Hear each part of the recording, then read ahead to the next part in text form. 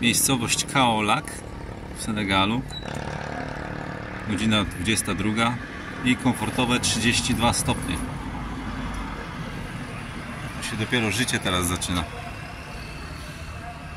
W dzień było 44-45, coś strasznego.